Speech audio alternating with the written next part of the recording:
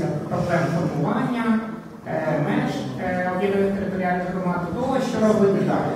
І почну з двох ремарок, одної історичної, другої більш сучасної. От, перша в 1861 році, як ми знаємо, в Росії в Російській імперії було скасовано кріпосне право, але не всі селяни знали, що з ним робити. Вони приходили до цих е, економії і питали, а як же далі, а хто нам допоможе і так далі. От, тобто з'явилася з'явилася базова така цінність людська, це свобода фактично, свобода розпоряджатися собою, фактично своїм часом вони не з нею робити. Е, історія більш сучасна, 2015 рік. Е, вдалося мені тоді трошки мав чесно попрацювати в місті реформ Київської області. Ну і приходить запит, не скажу, яка це районна е, адміністрація Київської області, е, що пишуть е, представники. Вони е, так би мовити, збурені тим, що е, кожна територіальна громада повинна буде визначати самостійно напрям свого розвитку. Це не раціонально, це не ефективно, як же це так, це розброді шатання. І пропонують, що Кабінет міністрів України е, своїм рішенням е, визначить для кожного району адміністративного, для кожної територіальної громади майбутнє, чим вони мають займатися, які мають бути, який має бути розвиток цих громад. Тобто бачимо, е, ну, патерналізм зрозуміло, бачимо. Ну так, так, так. І що конкретно все має визначити Кабмінзвер? Е, тобто, е, в нас дійсно можуть бути величезні ресурси, величезні можливості, але якщо ми не знаємо, що з ними робити, як ними розпорядитися, то скільки не давай цих ресурсів, скільки ми коштів не отримаємо, е, користі від цього не буде. І тому пропоную трошки поговорити про те, що ж робити далі, після того, як е, об'єднана територіальна громада е, більш чи менш спроможна вже фактично утворилася юридично і власне що робити. Отже, поговоримо трошки про стратегічне планування розвитку територіальних громад. Як відомо, в Україні існує вже певне законодавство, діюче законодавство з приводу стратегічного розвитку держави в цілому і окремих є адміністративно-територіальних одиниць. Ну, наприклад, е, кожна область свою стратегію розвитку.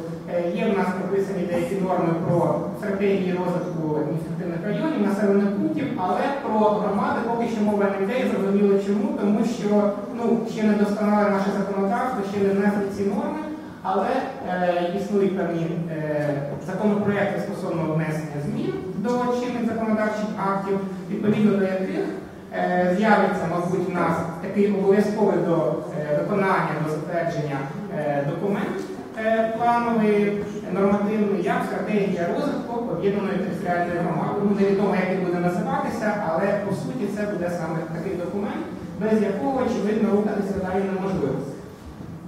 От, неможливо, тому що, щоб знати, щоб кудись прийти, треба знати, куди йти і як, яким чином туди прийти. Отже, які основні етапи стратегічного ну, створення власне стратегії розвитку територіальної громади? Ну, по-перше, це підготовка певна, це організаційно-інформаційне забезпечення, тому що без неї не буде. Е, По-друге, треба проаналізувати, що ми маємо на сьогодні. Це фактично діагноз, діагноз території, діагноз суспільству, людям, які тут проживають, е, такий поточний зріз поточного стану. Далі, власне, ми повинні ідентифікувати проблеми, можливості, загрози, власне, потенціал території і, нарешті, е, сформувати певну власне програму дій, власне, зайнятися стратегуванням на основі цієї інформації. Е, Кілька слів про тих, хто, власне, мабуть, має чи повинен займатися стратегуванням. На глибоке переконання експертів і науковців, і на моє особисте переконання, це має до е, цієї важливої події, до цього заходу, до цього процесу повинні бути залучені усі ті, хто якимось чином зацікавлений власне у розвитку цієї території, е, зацікавлений у її майбутньому, у її успішному майбутньому і має е, потенціал, має е, ресурси вплинути і власне визначати це майбутнє. По-перше, звичайно, це повинно бути, повинні бути органи місцевого самоврядування новообрані цієї громади. Вони мають визначати, вони мають е, спрямовувати власне весь процес. Але також це мають бути е, зрозуміло місцеві ті ж самі бізнесмени, у яких і фінансовий ресурс, які бачать певні можливості його вкладання реального, е, бачать е, певні перспективи для себе на цій території і які е, реально власних коштів здатні цю територію змінити. Це повинні бути, звичайно, експерти, е, які володіють ситуацією, які знають переваги цієї території, знають її недоліки, можуть спрогнозувати, що буде в майбутньому. Тобто експертне середовище повинно бути обов'язково залучено. Е, Також, е, також повинні бути залучені активісти громадські, ті, які мають певну думку, які не байдужі до того, що буде з цією територією, що буде з цією громадою в майбутньому. От. Е, таким чином, от на цьому слайді коротко підсумовано ну, такі от основні категорії учасників. Тобто до слова, знову ж таки, це ті, які мають бажання і мають можливості. Мають бажання е, долучитися до створення такої стратегії і мають можливість, можливість вплинути на її реалізацію. Е, коли в нас е, вже сформована фактично робоча група, ініціатором може бути ну, фактично будь-яка людина, але бажано, щоб це, звичайно, були представники новообраного місцевого самоврядування, бо саме вони несуть відповідальність за розвиток громади. Потрібно переходити до тієї стадії, яка називається фактично формування поточного зрізу, формування профілю громади. Тобто, фактично, це документ, у якому здійснений аналіз оцінка сучасного стану е, території цієї громади. Е, Навіщо це потрібно? Ну, як точка відліку, точка опори, щоб ми розуміли, з чим ми маємо справу, що в нас є на сьогодні, які в нас є, е, які в нас є ресурси, власне. Тобто, що потрібно проаналізувати? Потрібно проаналізувати достатньо багато всього. Це і історія цієї території, це і географічне, суспільно-географічне положення, ці природні умови і ресурси, які в нас є.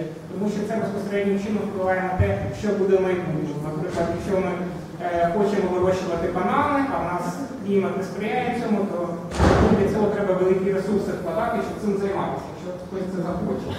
Е, Демографічну ситуацію, щоб оцінювати трудовий потенціал, які в нас трудові ресурси, яка їх якість, який рівень освіченості населення, е, кваліфікація, чи достатньо буде, наприклад, е, місцевих трудових ресурсів для того, щоб розвивати якесь ну, наукоємне виробництво, наприклад. Чи, чи нам потрібно буде залучати людей з інших територій. Соціальну інфраструктуру, її стан, е, фінансову бюджетну ситуацію, тобто різні, різні, різні аспекти, які можуть вплинути на розвиток території, впливають зараз і можуть вплинути в майбутньому. Коли ми пройшли цей етап, ми власне переходимо до аналізу того, що може очікувати на території в майбутньому і на що нам треба спиратися в її е, розвитку при стратегуванні, а що ну, що потрібно як так, знешкодити, що потрібно вимінути, чого потрібно уникати.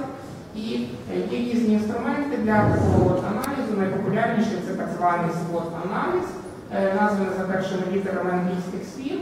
е, Strengths, weaknesses, opportunities and threats, тобто сильні сторони, слабкі сторони, можливості і загрози. Ну, сильні і слабкі сторони це відповідно ті умови, е, ті ресурси, які власне розташовані, знаходяться на території громади, які можуть певним чином позитивно або негативно впливати на її розвиток, але які в принципі, на які в принципі може місцева громада, я вже маю на увазі не адміністративну територіальну одиницю, а людей, включно звичайно з владою, в першу чергу місцевою, на них вплинути. Тобто або посилити, розвинути, або якимось чином постаратися їх знешкодити, от, е, пом'якшити їх вплив. І е, з іншого боку е, потрібно розглядати можливості і загрози. Можливості і загрози це вже певні зовнішні чинники, які е, можуть в перспективі е, суттєво вплинути на розвиток громади. Ну, наприклад, якщо ми, у нас, наприклад, територія м, Херсонської області, припустимо, ми там збираємося вирощувати там рис чи займатися ще якимось сільським господарством. От, е, ми повинні, наприклад, враховувати те, що в нас іде глобальне потепління, що в нас іде реалізація клімату, що в нас частіше посухи, і в майбутньому, ну, наприклад, якщо зараз є сприятливі умови, то в майбутньому вони можуть стати несприятливими. Е, можливості загрози можуть бути і в сфері політичній, в сфері економічній, в сфері е, політико-економічної площини. Ну, наприклад, зараз багато е, територіальних громад, які в експертному експертних колах часто називають нафтовишковими, умовно кажучи, орієнтуються на видобуток якоїсь там місцевої ну, корисних копалин або на е, збут підакцизних товарів, тому що акциз йде в місцевий бюджет. Припустимо, що завтра є загроза, що м, Верховна Рада, наприклад, відмінить, скасує це, і тоді такі громади втратять ну, основне, одне з основних джерел надходжень. Тобто, відповідно, вже не буде для них, для них це буде загроза. Е, Є інші певніші методики, наприклад, так звана модель Пескле або метод ABC-аналізу. Тобто е, при першій моделі ми акцентуємо, теж розглядаємо різні сильні слабкі сторони, знову ж таки, можливості загрози, але не забуваємо, що вони можуть бути різного характеру, зокрема політичного, економічного, соціокультурного, технологічного, правового. А якщо ми говоримо про ABC-аналіз, то також ми можливості і загрози поділяємо ну, ці різні чинники розвитку території на переваги, на перешкоди і на спільні питання, які за певних умов можуть виявитися як перевагами, так і перешкодами. І, звичайно, це все треба аналізувати, намагатися аналізувати в часі, тому що з часом певні перешкоди можуть просто об'єктивно зникнути, з ними не потрібно нічого робити, вони просто зникнуть, Е, деякі навпаки можуть з'явитися. І е, на основі цього аналізу фактично ми формуємо стратегічне бачення. Що таке стратегічне бачення? Це фактично лаконічно сформульоване уявлення про бажаний стан нашої об'єднаної громади в майбутньому. Е, тобто, тобто ми робимо собі певний образ, до чого потрібно йти, і вже далі відштовхуючись від цього, формулюємо наші завдання. Що треба зробити, щоб досягнути до цього бажаного стану. Е, тобто ми формуємо певні пріоритети розвитку. Е, їх е, не може бути апріорі багато. Чому не може бути багато? Ну, тому що основа будь-якого стратегування це відома концентрація зусиль на чомусь конкретному, на, то, на бажаному результаті. А ресурсів, як відомо, в нас небагато, їх, їх ніколи не може бути безмежна кількість. Якщо ми їх будемо розпорошувати, ми не досягнемо нічого. Тобто потрібно їх е, концентрувати на кількох пріоритетних напрямках. І відповідно до цих пріоритетів розвитку формулюються стратегічні такі от, е, цілі, і е, які конкретизують ці пріоритети. Формулюються оперативні цілі, які знаходяться ну, узгоджені з бюджетним процесом, е, з правовим процесом.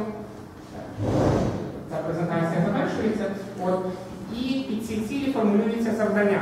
Потрібно розрізняти, що таке є цілі і що таке є завдання. Власне, цілі це те, е, чого ми бажаємо досягнути, а завдання, власне, це ну, конкретні кроки і ті ну, ну, дії, які необхідні інструменти, які необхідно виконати, щоб е, досягнути цієї